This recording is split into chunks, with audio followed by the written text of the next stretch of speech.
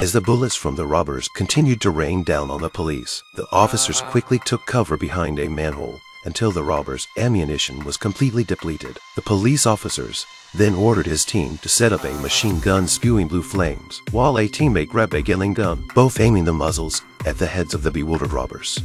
However, the police officers felt that the firepower of the two machine guns was insufficient. He pushed the machine guns aside and grabbed a nearby small car, from which four shells rolled out. With a steel wedge kicked up by his foot, he smashed the valve of the shells, causing them to skyrocket. The shells flew over the heads of the robbers, destroying the vehicles behind them before the robbers could react, the police officers fired for more shells. Leaving the robbers terrified, they turned and fled the scene. Suddenly, a shell hit the robber's car, instantly obliterating all the vehicles. Following the trail, the man, accompanied by the woman,